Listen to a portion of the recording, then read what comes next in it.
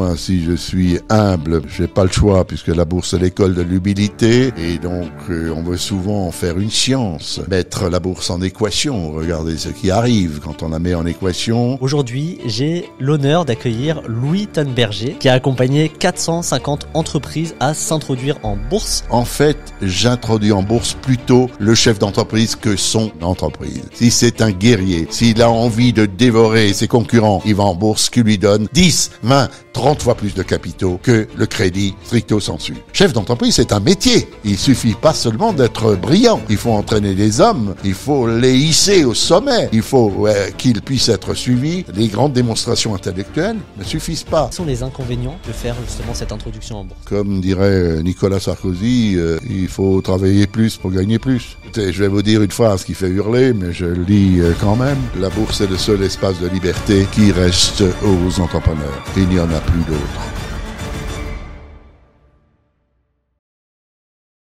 Bienvenue sur Finfluence dans ce nouvel épisode de podcast. Aujourd'hui, j'ai l'honneur d'accueillir Louis Tanberger.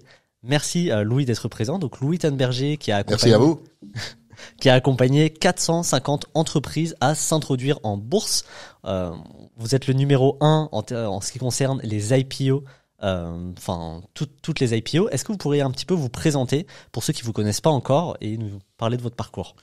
Oui, je suis. Euh, ça m'ennuie de parler de moi, mais il est vrai que je suis un ancien dirigeant de la Lyonnaise de Banque, une banque prestigieuse, la banque des PME aussi, à Lyon. Et donc c'est là que nous avons inventé le fameux second marché, qui a même donné lieu à la création de Shinext JT à Shenzhen en Chine, et donc une révolution culturelle des mentalités des entreprises, surtout des propriétaires de ces entreprises qui leur appartiennent. C'est toute la différence. C'était le fameux second marché avec la bourse des managers et en province, et plus, on en reparlera tout à l'heure on est particulièrement bien placé pour aller dans votre sens, puisque nous aimions et nous aimons toujours, et j'aime encore, et je continue dans ce sens, à attirer l'épargne des régions pour les entreprises de ces mêmes régions, pour qu'elles grandissent sur place et créent plus d'emplois. C'est ça quand même aussi l'objectif d'une introduction en bourse. C'est pas seulement et surtout pas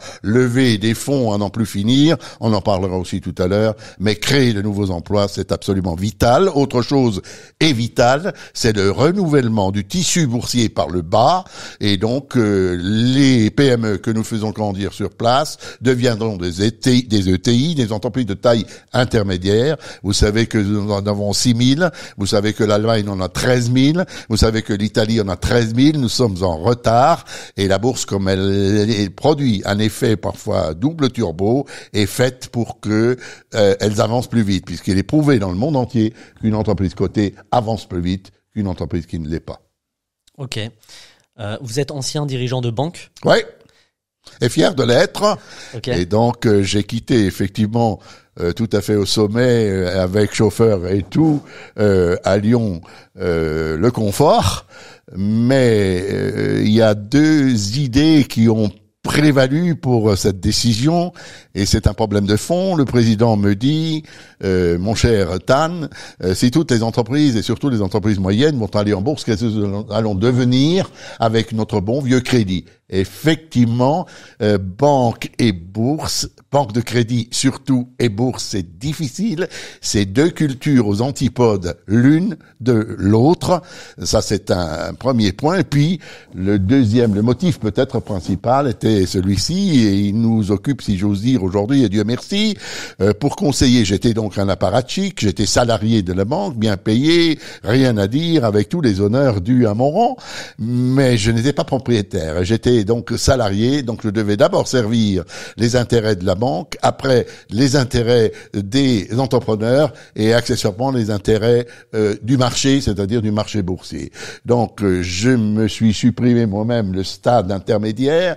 La banque d'ailleurs depuis euh, fait du capital euh, développement, du private equity pour échapper un tout petit peu à cette culture de la bourse, sauf pour les grands groupes, mais je ne vois pas comment je pouvais conseiller, continuer de conseiller ce que je fais aujourd'hui à un propriétaire d'entreprise n'étant pas propriétaire moi-même. Aujourd'hui, je suis propriétaire, donc je peux vous dire ce que je pense. À l'époque, il fallait que je filtre tout ce que je disais à, euh, au chef d'entreprise. Je crois, je pense aussi qu'un chef d'entreprise ambitieux, performant, n'a besoin de personne si ce n'est de l'épargne publique. Et donc, je les mets comme conseil des présidents des entreprises de propriétaires, je les mets en contact. Si ceux-ci sont ambitieux, euh, je compare souvent l'introduction en bourse à l'élection présidentielle. Excusez-moi, c'est prétentieux, mais qu'est-ce que c'est que la bourse pour un propriétaire d'entreprise? C'est la rencontre entre lui-même et l'épargne publique, qu'elle soit française, régionale, voire internationale. Donc, pas de passage obligé au milieu, du producteur au consommateur. Je l'ai fait 15 fois. Là-dessus, le président me dit, il faut qu'on arrête parce que d'enrichir les propriétaires d'entreprises, on va rentrer dans leur capital. Et à ce moment-là, j'ai dit, Monsieur le Président, hier, j'ai dit à Monsieur Tartampion qu'il n'avait besoin de personne, si ce n'est de l'épargne publique. Et maintenant, je vais lui dire qu'il faut qu'il accepte que nous rentrions dans son capital pour accaparer 20 ou 10 de ce capital de sorte que euh, le chef d'entreprise ne décide plus jamais seul, parce que vous savez, ceux qui payent commandent, et donc quand on l'a vu récemment dans cette euh, introduction en bourse, Planisver qui a été reporté avec Ardian dans le capital, il y a trop de parties prenantes pour que tout le monde soit gagnant, de sorte que euh, cette introduction en bourse a été reportée. Ok, c'est-à-dire que les banques, en fait, elles ont les, euh, les banques n'ont pas d'intérêt finalement à, aux introductions en bourse. Pas trop. Pas trop. Pour quelle raison? Est-ce que vous pouvez Pas détailler trop. un petit peu? euh, Bon, la banque, euh, attention, adore les grands groupes, les grandes opérations financières et de tout temps, et surtout les banques d'affaires. Et en plus, c'est une activité qui est quand même, il faut le dire, assez rémunératrice.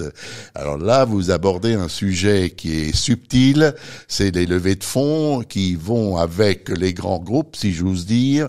Donc, on matraque un maximum, et euh, pour lever un maximum de le premier jour, mais attention, euh, le patron du grand groupe est rarement propriétaire de ce groupe. C'est toute la différence avec l'entreprise moyenne qui appartient à un propriétaire et qui doit faire très attention le jour de l'introduction en bourse. Je crois qu'on en a parlé en aparté pour que euh, ne pas valoriser trop cher et pour ne pas émettre une augmentation de capital surdimensionnée par rapport à euh, comment dirais-je euh, sa taille. Et il faut qu'il ménage l'avenir encore une fois le propriétaire de cette entreprise précisément parce qu'il est propriétaire et parce que après l'introduction en bourse son capital patrimonial est en jeu. Donc, il y a, je ne veux pas dire que le grand groupe euh, vient en bourse seulement pour lever, il est là, j'allais dire, pour l'éternité, mais le chef d'entreprise qui est propriétaire, il doit ménager le capital, le sien, voire de sa famille. Ok, bah... Et à propos de famille, il y a quelque chose d'intéressant aussi à dire.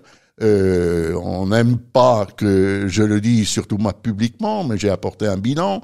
Euh, parmi les 450 ou 500 introductions en bourse que j'ai pilotées, il y en a 50 euh, qui ont mal tourné, c'est-à-dire les entreprises ont fait faillite. donc il faut surtout pas en parler. Pourquoi pas? Ben je dis que Souvent, je suis arrêté dans la rue. Il y a une dame dit, vous êtes monsieur Berger, qu'est-ce que, qu'est-ce que je peux faire pour vous, madame? Et je lui réponds. Euh, elle me répond, mais rappelez-vous, euh, vous, vous avez introduit notre entreprise en bourse. J'ai dit, ah bon, comment ça s'appelle-t-elle? J'en ai fait tellement que je m'en souviens plus. Et elle me dit, elle a fait faillite. Et donc, je voulais vous remercier parce que vous avez séparé à temps 51% du capital, c'est-à-dire le pouvoir, des 49% qui ne servent à rien, si ce n'est à prendre plus de risques chaque jour, plus de risques, risque de tout perdre. Donc, j'ai mis, c'est pour ça qu'elle me remercie, 49% du capital en sécurité avant que ça ne se casse la figure. Parce que des, des, des dépôts de bilan, il y en a 60 000 par an en France, il y en aura toujours. Donc il faut quand même savoir raison garder. Et pour un propriétaire, séparer le pouvoir du patrimoine entrepreneurial qui ne sert à rien, si ce n'est à prendre tous les jours plus de risques, voilà ce qu'il faut faire. C'est vrai que c'est pour ça qu'on confond pas la bourse des grands managers, la bourse des grands groupes avec la bourse des entreprises moyennes en croissance et en devenir. Mais qui seront certainement Parmi celles-ci, il y en a forcément qui feront partie du CAC 40 de demain. Donc, on renouvelle bien le tissu boursier. Ok. C'est un enjeu de place.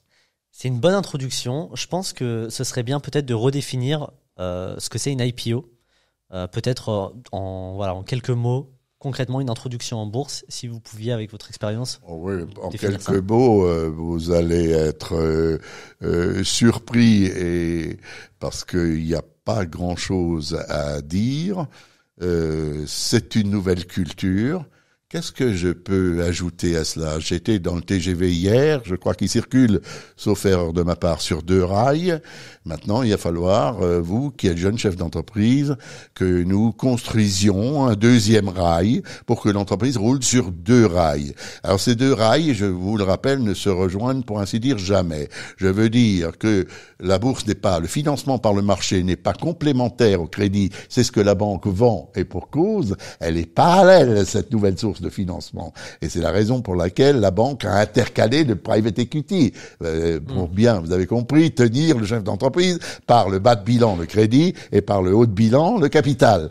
Donc, euh, si le chef d'entreprise est ambitieux, si c'est un guerrier, euh, s'il a envie d'être connu, reconnu, s'il a besoin de références à l'étranger, ça c'est important nous faisons imprimer sur les chefs d'entreprise qui nous suivent, sur leur papier en tête et autres documents, notre société est cotée sur Euronext Paris, Bruxelles, Amsterdam, Dublin, Oslo, Milan et Lisbonne. C'est quand même un must et ça c'est vraiment un point euh, fort parce que vous êtes chinois, moi je suis canadien, je veux savoir qui vous êtes et l'inverse est vrai aussi côté, c'est un must. Vous êtes, vous rassurez tous vos partenaires. Voilà pourquoi il y a des introductions en bourse et pas seulement des levées de fonds. D'ailleurs, quand euh, la bourse est euphorique, les levées de fonds sont importantes, mais parfois trop importantes, on l'a mmh. déjà dit, et derrière, ça se casse la figure. Donc, on vient en bourse, enfin, en tout cas, c'est ce que je prêche auprès des chefs d'entreprise. Ma phrase clé est la suivante. Monsieur le Président, nous allons nous introduire à un prix raisonnablement cher. Ce qui ne veut rien dire, mais tout dire. En clair, pas d'excès, pas de surévaluation et pas non plus de levée de fonds surdimensionnée. Euh, on n'est pas là pour faire une banque. On est là pour créer de nouvelles richesses. Et donc, euh, j'ai des chefs d'entreprise. J'en ai un à Lyon qui s'appelle Resto Reality, qui va lever un million ou deux millions d'euros pour commencer.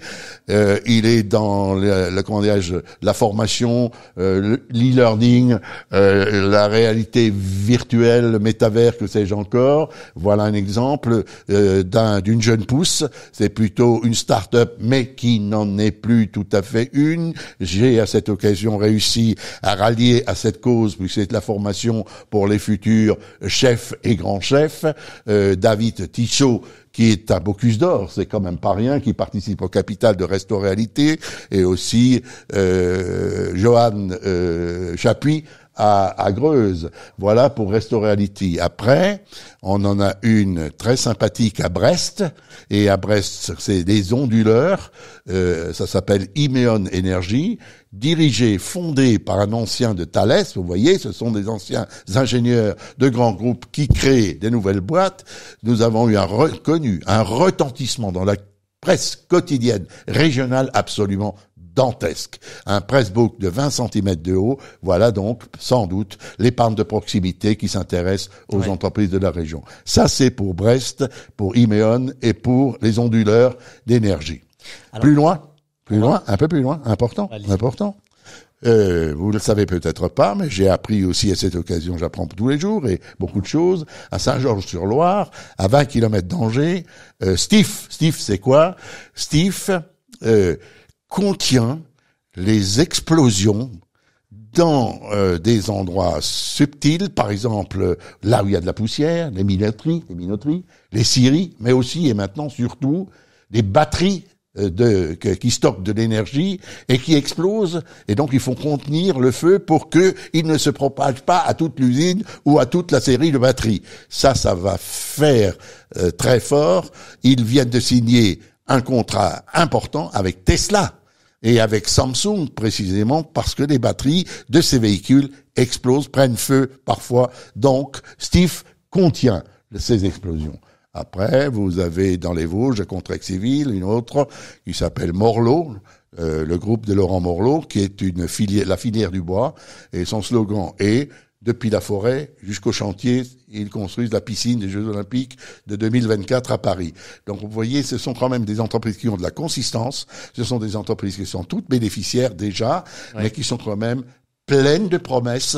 Et donc, je dis souvent, euh, tant qu'il y a de la croissance, il y a des investisseurs, vous verrez que nous n'aurons pas de difficulté à placer ces augmentations de capital, mais qui seront modestes, 8 millions, 12 millions pour la plus importante, pas de hold-up le premier jour. Voilà le mot d'ordre.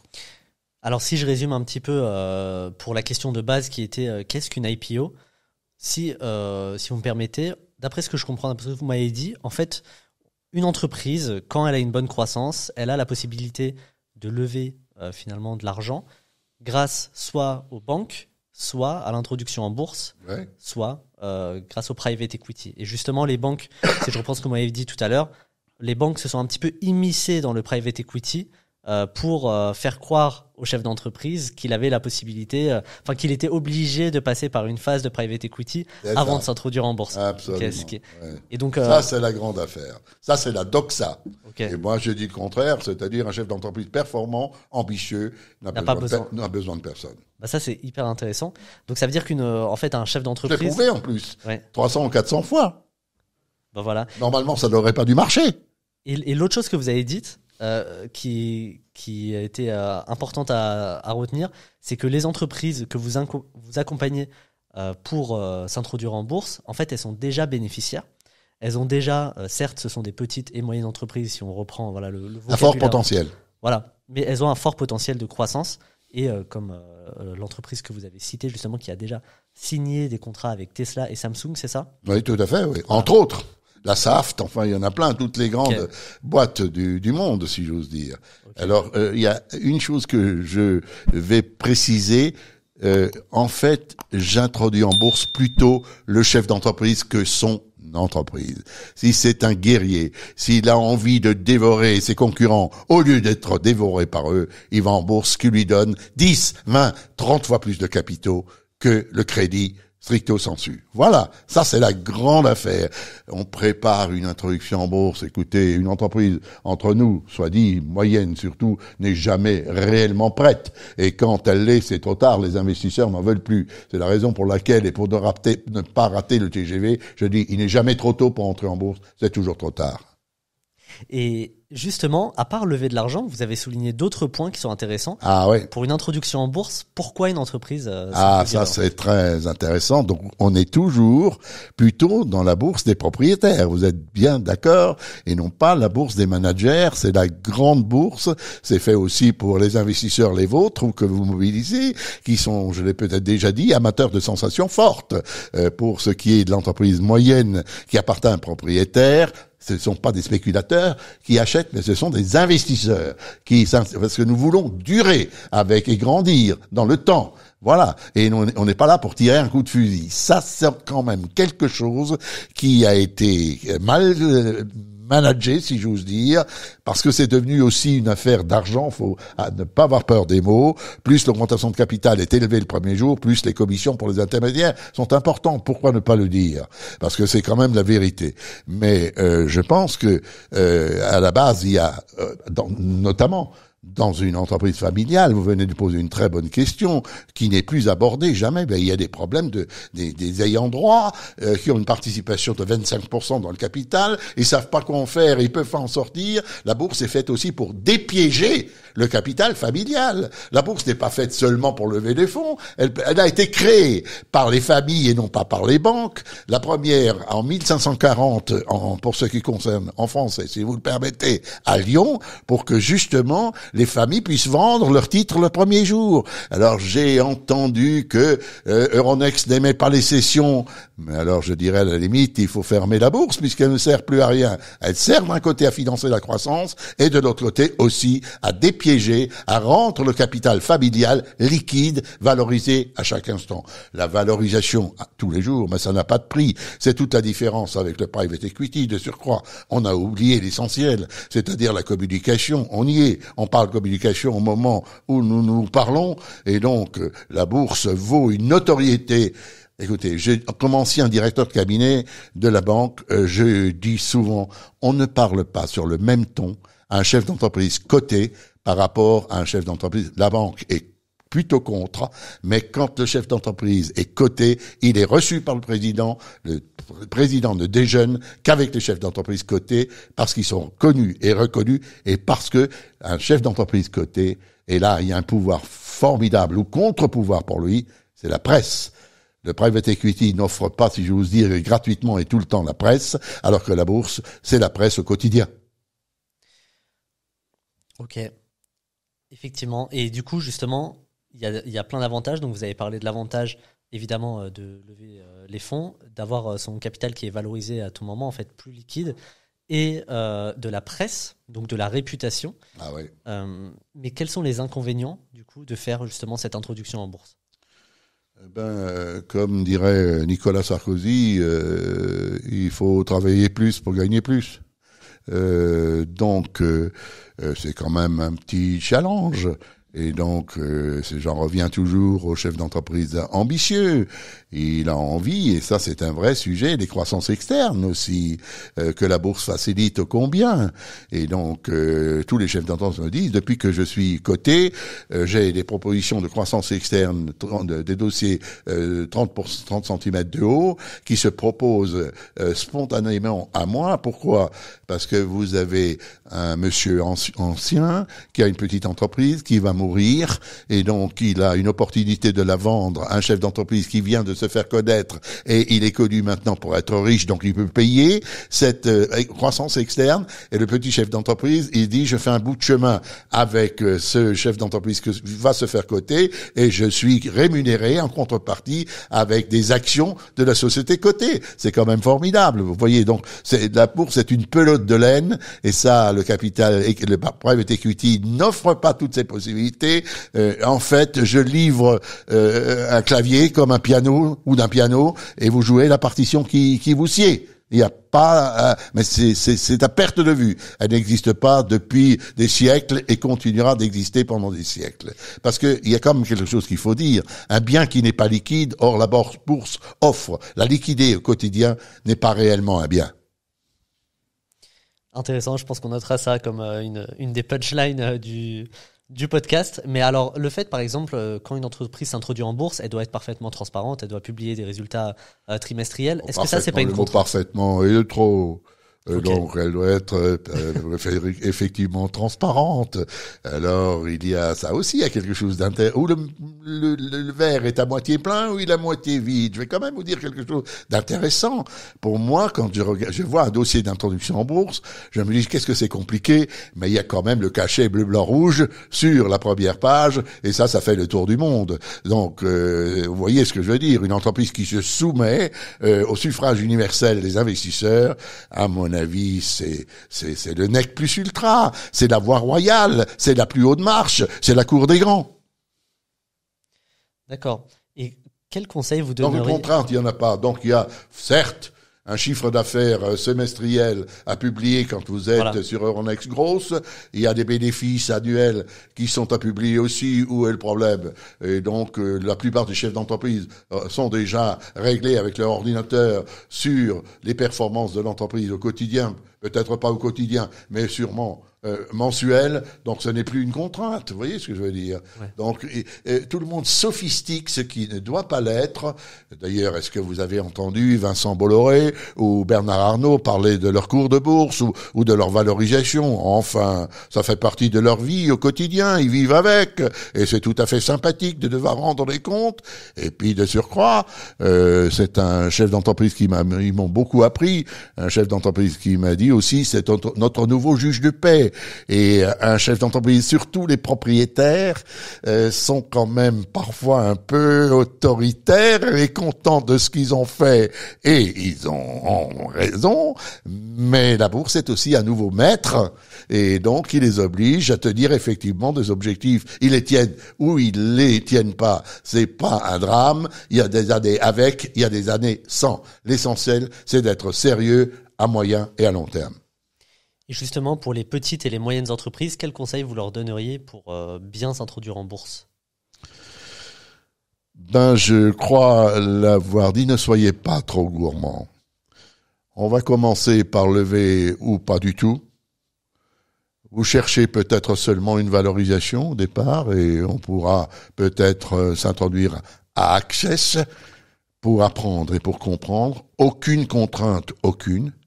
Au bout d'un ou deux ans, vous en avez ou un peu assez et comme vous êtes ambitieux, vous voulez franchir une étape supérieure, on passe sur grosse.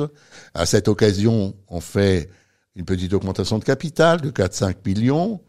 Vous avancez déjà un peu plus vite. Voilà que vous devenez plus crédible, plus visible, euh, plus sérieux, je dirais même.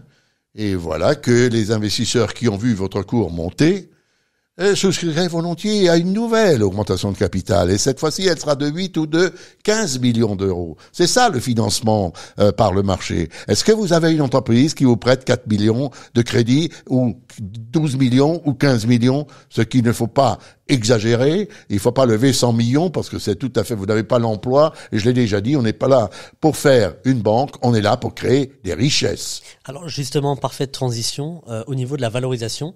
Comment valoriser les parts d'une entreprise au moment de l'introduction en bourse Ouais, c'est une très bonne question. Si euh, vous avez un peu euh, d'humour et moi, si je suis humble, parce que j'ai pas le choix, puisque la bourse est l'école de l'humilité, c'est un tout petit peu au petit doigt bouillé. Et donc, euh, on veut souvent en faire une science la mettre la bourse en équation. Regardez ce qui arrive quand on la met en équation. Les analystes s'en occupent. Autant je pense que c'est une autre idée qu'une analyse financière est indispensable pour un grand groupe, non pas pour le surveiller, mais quand même pour qu'il reste dans, comment dire, sur l'autoroute qui est la sienne. Mais pour une petites et moyennes entreprises, c'est plutôt l'homme qui fait la différence. Je dis toujours la même chose, et quand je me trompe, je me trompe pas sur le dossier, je me trompe sur l'homme. Donc je lui dis, euh, la bourse est une affaire de crédibilité croissante. Comme je viens de le dire, on commence par 4, puis une levée de fonds de 8, puis une levée de fonds de 16. Faites-vous et plus donc vous tenez vos prévisions, voilà la contrainte. Ben plus vous devenez aussi crédible auprès de l'épargne publique, plus elle vous donnera d'argent parce que les affaires d'argent ne sont basées que sur la confiance. Alors euh, surtout, ce que je dis tout le temps, la bourse n'est pas un hold-up du premier jour et il faut durer surtout quand on est propriétaire.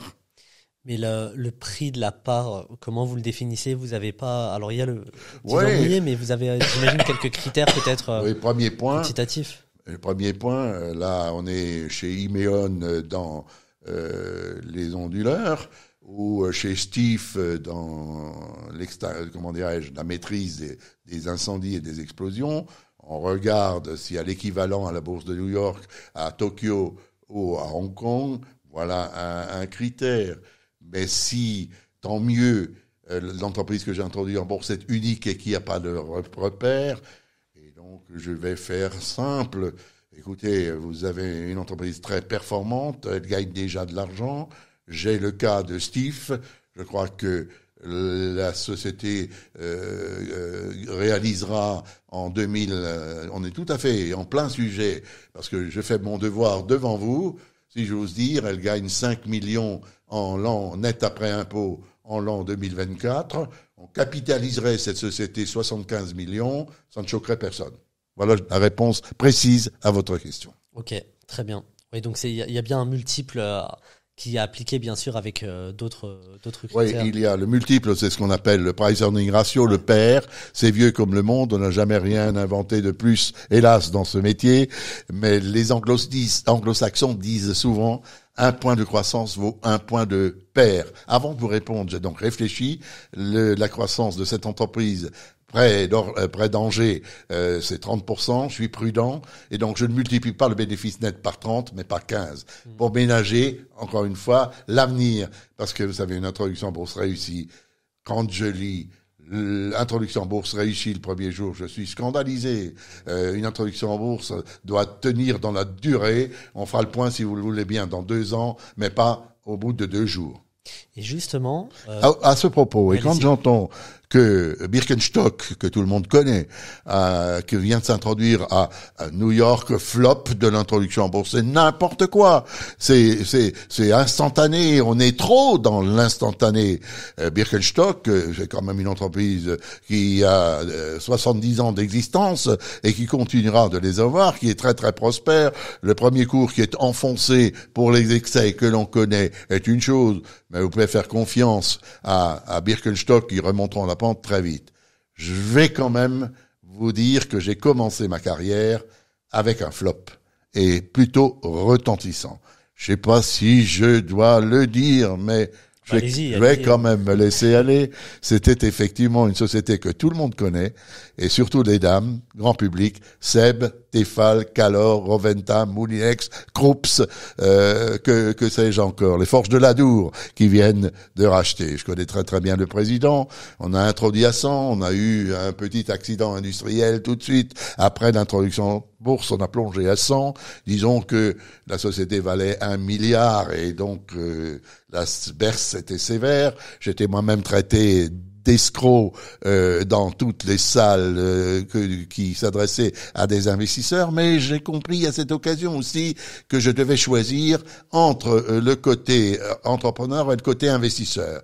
Et je suis aussi un fan de la séparation de la banque d'affaires de la banque de détail. Mais personne ne me suit. Il y a quand même pas mal de conflits d'intérêts, de mélange des genres. Donc j'ai choisi mon camp. Je suis devenu propriétaire, comme les entreprises, que comme les dirigeants de mes entreprises et puis euh, je peux pas être avec euh, les uns et avec les autres.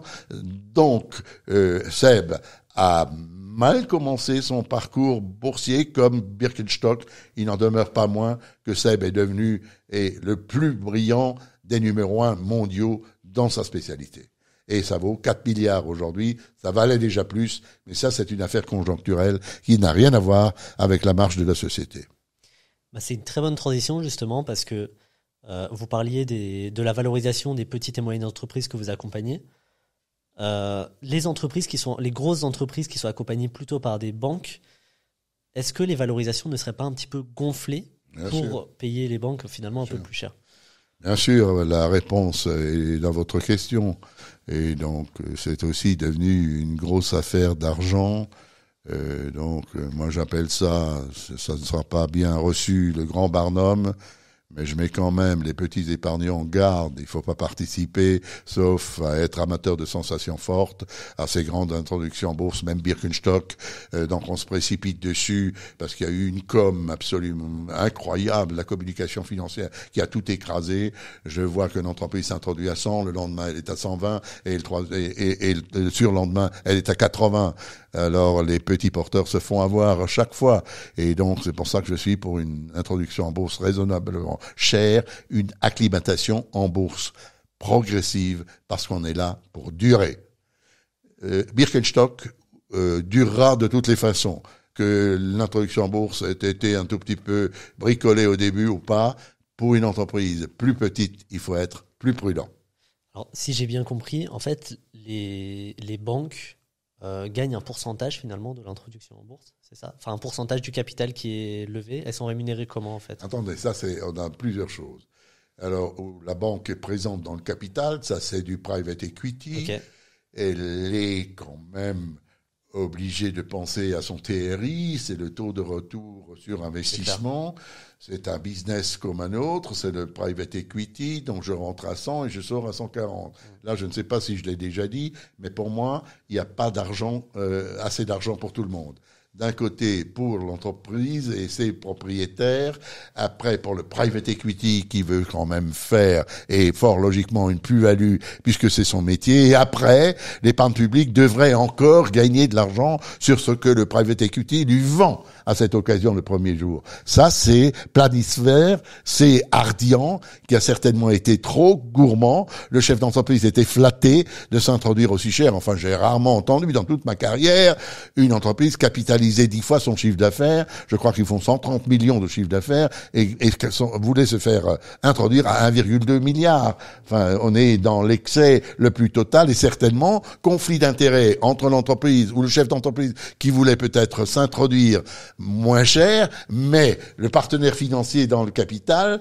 il devait euh, euh, s'introduire cher. Et là, il y a court-circuit et l'introduction en bourse a été reportée. Je ne l'aurais pas reportée, mais c'est une autre affaire. Vous m'avez posé une autre question, je crois.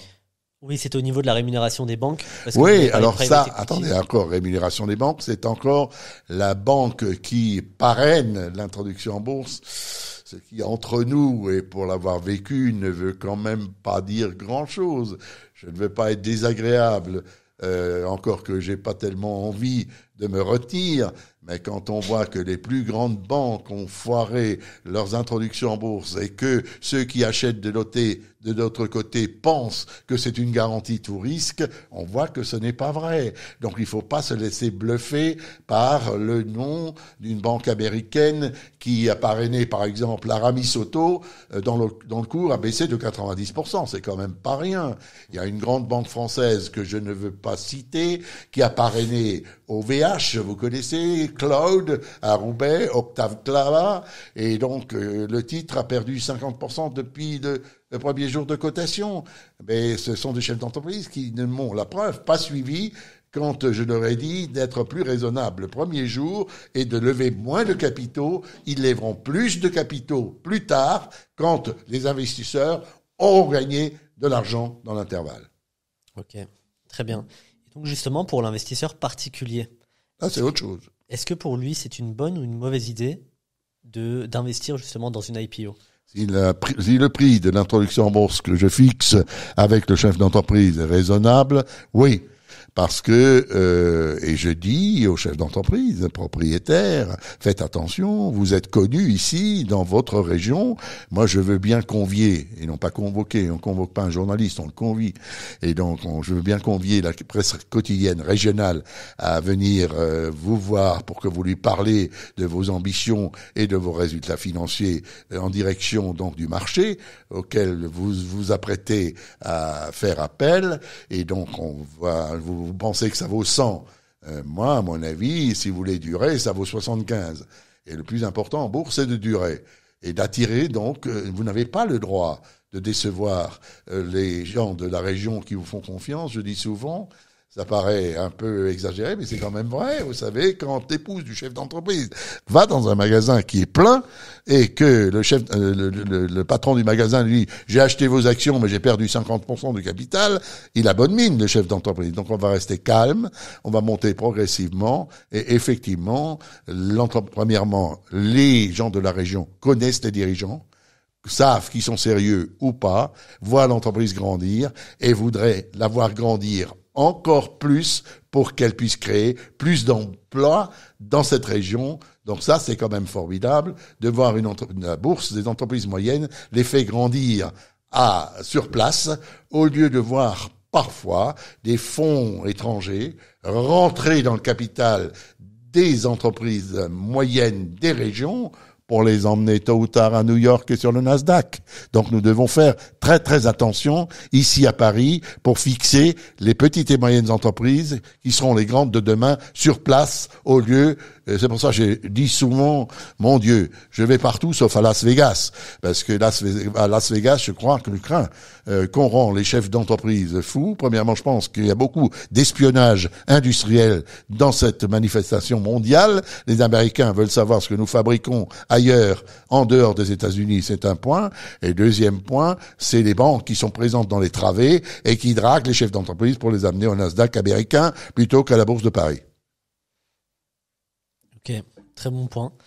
Euh, pour terminer avec la valorisation et pour les particuliers, si je comprends bien ce que, ce que vous m'avez dit, l'investisseur euh, individuel, le particulier doit faire en fait attention à la valorisation. Non. oui. Enfin, il doit faire attention surtout aux dirigeants d'entreprise. Ok, très bien. Donc, euh, vous avez compris, c'est toute la différence avec la, la, la direction d'un grand groupe. Ce sont des managers euh, le chef d'entreprise euh, de région, si j'ose dire, qui est propriétaire, il faut qu'il soit très très sérieux et le, le, tout son environnement le sait. Elle le sait. C'est connu. Et c'est ça qui est assez sympathique. Je vous dis, la, la, la PQR qui nous a suivis et lors de nos annonces, c'est absolument dantesque euh, des pressbooks euh, euh, parce que le chef d'entreprise, pour moi, c'est une sécurité parce que je vois que le chef d'entreprise est considéré dans sa région. Et donc, je suis assez, je assez bien avec Steve, avec Imeon, avec Morlot à, à contre parce qu'ils produisent et ils livrent. Le problème du start-upper, c'est que il a de belles baskets, un beau jean, un cerveau comme vous, avec des diplômes de tous les côtés, mais est-ce un vrai chef d'entreprise? Ça aussi, c'est un, sujet important. Chef d'entreprise, c'est un métier. Il suffit pas seulement d'être brillant. Il faut entraîner les hommes. Il faut les hisser au sommet. Il faut qu'ils puissent être suivis. Les grandes démonstrations intellectuelles ne suffisent pas. D'ailleurs, ce qui compte le plus dans une introduction en bourse, c'est ce que je dis toujours, c'est ce que je dis aujourd'hui, et euh, tous les deux ici présents, vraiment, la clé d'une introduction en bourse réussie, c'est l'enthousiasme du chef d'entreprise et de celui qui le conseille, excusez-moi de prêcher pour ma chapelle. Mais c'est quand même vrai. Ok, très bien. Et justement, par rapport à ça, vous avez parlé euh, de des entreprises que vous accompagnez, et ce sont plutôt des entreprises régionales, c'est ça? Qui sont... Oui, enfin, des, j'allais dire les entreprises régionales de Paris aussi. Plutôt l'entreprise moyenne en, croissance, j'aime bien dire en Île-de-France. Parce que c'est ça la France profonde. Ça commence par l'Île-de-France et donc les entreprises des, régions euh, dont, dont, à l'époque, on avait des bourses régionales euh, qui, à Lyon, à Nantes, à Marseille, à Lille, à Nancy, euh, qui, les accueillaient et qui les faisaient déjà grandir euh, sur place. Après, Paris, euh, c'est Paris, avait quand même besoin, si vous le permettez, de biscuits et de renouveler le tissu boursier par le bas. Et donc, ils ont centralisé le second marché qui a été créé à Lyon par celui qui vous parle, dont il a été le moteur, et ça a été centralisé sur Paris. Et là, il y a aussi un petit problème culturel. Je ne suis pas sûr du tout euh, que Paris, qui est la ville des grands groupes, soit également la ville des petites et moyennes entreprises. Ça, c'est bien sûr. Donc il y avait euh, d'autres places de marché en France. J'ai même milité aussi bien à, chez Euronext que auprès de l'autorité des marchés financiers pour qu'on fasse deux segments, euh, donc pour les dossiers qui arrivent euh, de Paris et d'ailleurs, le segment des grands groupes et le segment des petites et moyennes entreprises. On ne traite pas ces dossiers, les deux, de la même façon. Et pourquoi en fait ces places, elles ont été fermées? Mais parce que Paris avait vis-à-vis de l'étranger et des grandes places financières mondiales besoin d'exister de plus en plus, elle a besoin, elle comme souvent la France, elle avait besoin, pourquoi elle centralise? Elle a besoin de force. Euh, L'Allemagne n'est plus décentralisée. Il y a Munich, il y a Francfort, euh, il y a Berlin. Tout ça, ce sont pratiquement des mini-capitales. Euh, nous, on n'a pas assez, on a ni assez d'entreprises de taille intermédiaire à la différence de l'Allemagne, et nous avons également moins de villes moyennes importantes, qui sont presque des capitales, en tout cas de grosses capitales régionales. Et pour vous, ce serait mieux qu'on retourne justement à une décentralisation en France? Oui, je pense qu'on n'y arrivera plus, mais je ne veux pas te, euh, être défaitiste. Euh, le mouvement me paraît irréversible. Non, maintenant, il faut faire un maximum. Je l'ai dit tout à l'heure, pour que nous puissions les faire grandir à Paris, en France, plutôt que de les voir partir en Nasdaq américain hein, on parle beaucoup d'Amsterdam en ce moment, CVC, mmh. entre, mais c'est un grand groupe, donc en bien lui fasse. Il va à Amsterdam, mais je crois que Bernard Arnault devait y aller avec un SPAC et il s'en est retiré. Donc, euh, moi je fais simple, il n'y a plus qu'une bourse, elle est mondiale et les investisseurs sont mondiaux et cette bourse mondiale est dans votre ordinateur. Point. Ne confondons pas bourse. J'aime pas beaucoup bourse de Paris. J'aime, je préfère place de Paris. Vous voyez ce que je veux dire? Parce que la bourse de Paris, stricto sensu, n'existe plus, il faut le dire. Hmm. L'ordinateur, d'ailleurs, qui traite toutes les opérations, n'est pas à Paris, à ma connaissance. Je crois qu'il est en Angleterre.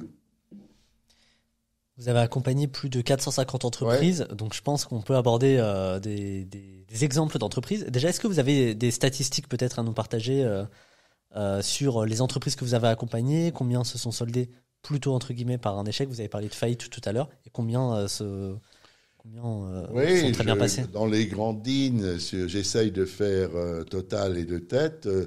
euh, euh, 50 sur les 450 font la course en tête. Et parmi ces 50, il y en a quelques dizaines qui feront partie du CAC 40 de demain. Il y en a bien une 100, 100 150 qui, d'abord, au fur et à mesure, regardez à quel point c'est important de devenir de plus en plus crédible, ont vendu au fil de la hausse au cours des années qui ont suivi celle de l'IPO, qui ont vendu euh, euh, 45% du capital. Voilà. Il y en a qui euh, ont continué avec euh, ces 150, avec, 40, avec 55% du capital, mais il y en a au moins autant qui ont vendu d'abord 45% du capital et après ont vendu les 55% qui restent un grand groupe. Ça, c'est la vie, c'est la raison pour laquelle il faut renouveler sans arrêt le tissu boursier par le bas. Et puis, euh, comme dit, il y en a 50 qui euh, euh, ont fait faillite. C'est ma plus grande fierté. Personne ne veut que j'en parle. Et pourtant, j'ai beaucoup de plaisir parce que j'ai sauvé le patrimoine des familles avant qu'il ne soit trop tard. Donc je dis souvent, le chef d'entreprise qui me dit la porte est là-bas, euh, pas de place pour vous euh, et, et pour moi avec vous en bourse, les trois quarts ont déposé le bilan depuis. Alors que la bourse vous oblige quand même à devenir meilleur. On n'en a pas parlé, mais la bourse tire toute l'entreprise vers le haut.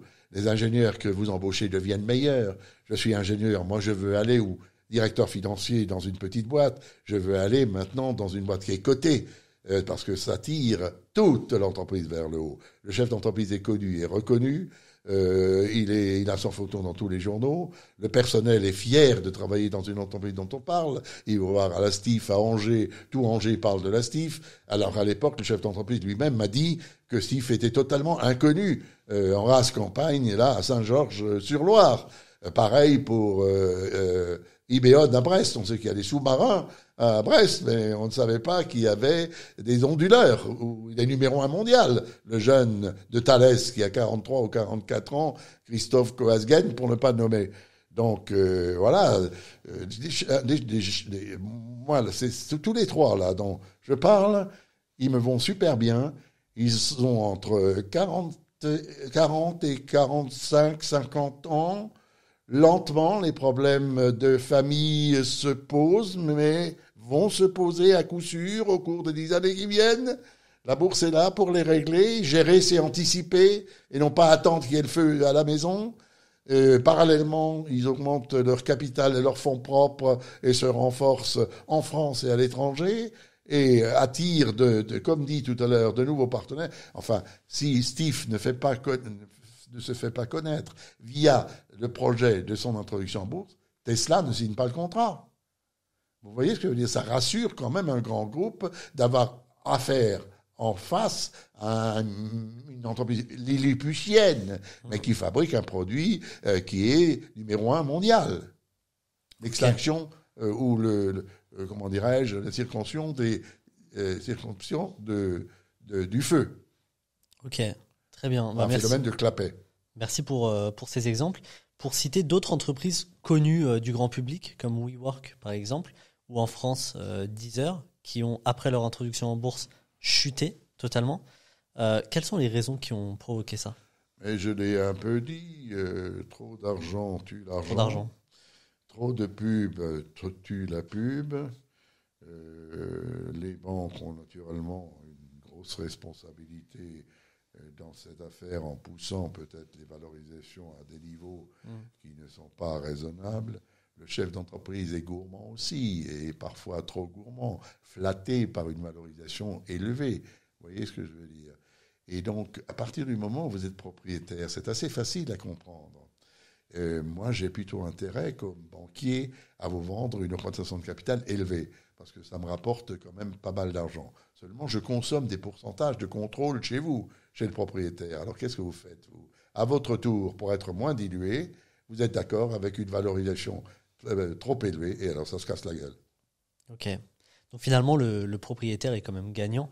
Je dis souvent, écoutez, juste pour finir, je l'ai dit au président de Steve, je crois, Vous pouvez demander à l'introduction bourse, je ne vais pas me contredire, mais comme il a vraiment de très belles performances, vous pouvez demander le prix sauf exagération que vous voulez. Mais est-ce que vous avez, après la combustion, est-ce que vous avez vu décoller un avion? Est-ce qu'il y a encore de la post-combustion? C'est-à-dire, est-ce qu'il y a encore de la réserve, des réserves de croissance pour véritablement tirer ou faire monter l'avion en flèche? Parce que si vous vendez euh, toute votre croissance des cinq prochaines années déjà au moment du décollage et que vous n'avez plus rien derrière à livrer, c'est là que le bas blesse. La start-up a promis beaucoup pour 2025, 2026, 2028, mais quand la bourse se rétracte, elle, elle, achète court. Et donc, autant elle rêve quand elle est euphorique à 2028, à 2033, autant elle se rétracte quand la conjoncture se dégrade, les taux d'intérêt montent, la guerre en, euh, avec ou sans le Hamas, je sais pas, en la bande de Gaza est réelle, euh, la guerre en Ukraine aussi, on a quand même beaucoup de problèmes à gérer en ce moment, d'où une bourse euh, qui est ici à Paris tiré par le luxe, moins qu'il y a un ou deux mois, mais tiré par le luxe quand même. Il y a beaucoup euh, d'entreprises. Alors ça, c'est une bonne question. Nous avons beaucoup d'entreprises, cinq ou six, ce qui est déjà pas mal pour un homme seul, à rentrer en bourse. Je suis très content que la bourse soit moins bonne, que euphorique, on commet pas d'excès, par définition, et toutes ces entreprises qui sont aujourd'hui dans la couveuse et qui sortent à la première fenêtre de tir qui s'ouvre, disons à la fin de cette année, au printemps prochain, ont l'avenir devant elles. Ok. Justement, euh, est-ce que, avec votre expérience, vous avez remarqué des tendances euh, différentes euh, sur le, tout le paysage des IPO Est-ce qu'aujourd'hui, le monde des IPO est différent d'il y a d'il y a 30 ans par exemple Oh, il est différent parce que aujourd'hui on il y a moins d'IPO euh, euh, comment dirais-je en apparence. Parce qu'il y a une nouvelle mode, on vient d'en parler pendant toute cette interview, les levées de fonds. Le second marché a été créé en 1983 sans levée de fonds et on a accueilli à cette occasion 635 entreprises nouvelles qui font le bonheur de la bourse de Paris, puisqu'aujourd'hui, puisque les bourses de province ont été supprimées.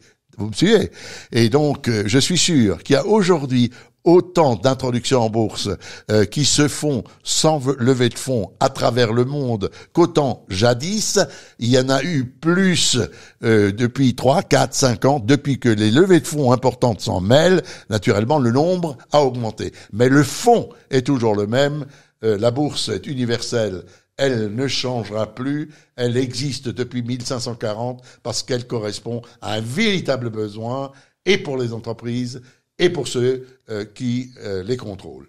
Donc euh, pour vous, malgré un petit peu les nouvelles tendances qui émergent de crowdfunding, par exemple, de financement participatif ou justement des, du fameux private equity, bon, même si c'est vieux comme le monde, la bourse, enfin les entreprises continueront de s'introduire en bourse, quoi qu'il arrive. Écoutez, je vais vous dire une phrase qui fait hurler, mais je le lis euh, quand même. Euh, la bourse est le seul espace de liberté euh, qui reste aux entrepreneurs. il n'y en a plus d'autres. Le private equity, j'ai rien contre, il en faut. Lorsqu'il tape sur la bourse, je lui en veux parce que je ne fais pas l'inverse. Nous sommes en démocratie. Le chef d'entreprise choisit la solution qui lui sied le mieux. Qu'est-ce que je peux dire euh, de plus euh, Tant qu'il y a de la croissance, il y a des investisseurs et la bourse offre la notoriété, la visibilité, la valorisation, la liquidité et le reste c'est de l'entre-soi. Et je n'aime pas l'entre-soi des familles et je n'aime pas l'entre-soi, même si le private equity s'en mêle. Les décisions sont prises euh, dans une pièce. Euh, les acteurs sont convoqués chez le financier ou chez le chef d'entreprise, mais c'est toujours de l'entre-soi. Moi, je suis partisan pour les entreprises d'ouvrir les fenêtres, les volets et de faire circuler du courant d'air parce qu'elles en ont vraiment besoin, surtout les miennes. Et pour les 10-15 prochaines années, donc du coup, le paysage des IPO va pas changer pour vous Si, en bien. En bien, ok. Pourquoi? La bourse est incontournable. Et donc, je viens de vous le dire, il n'a jamais rien trouvé de mieux. Et euh, je n'ai pas pensé que, à mon âge, cet instrument financier, la bourse, redevienne, comme au XVIe siècle, l'instrument financier le plus moderne. Euh, tout se passe à travers la bourse. Aujourd'hui, vous ouvrez les journaux, Thales, Thomson, Atos, tout, euh, Casino, tout passe par la bourse. C'est formidable, c'est le juge de paix. Et alors, quelle industrie, selon vous, va vraiment exploser les, les prochaines années? Là, Quel je secteur? suis plus prudent. Je fais attention. Naturellement, je cède aussi un tout petit peu aux modes, mais pas trop, trop, parce que je sais que toutes les modes passent. Et on l'a vu avec l'hydrogène, qui a quand même baissé de 50%. Ceux qui ont acheté de l'opium euh, se sont bien drogués. La société porte bien son nom. Et euh, donc, euh, mais euh, des, on peut pas euh, non plus euh, porter de jugement. Il faut des spéculateurs en bourse, mais il faut aussi euh, de la tendance de fonds et des investisseurs en bourse qui sont là euh, pour la durée. Donc, je cède un tout petit peu au mode, mais pas trop. Je préfère un, homme, un guerrier avec un, produit qui marche, un marché qui porte et qui a quand même dix années de prospérité devant lui.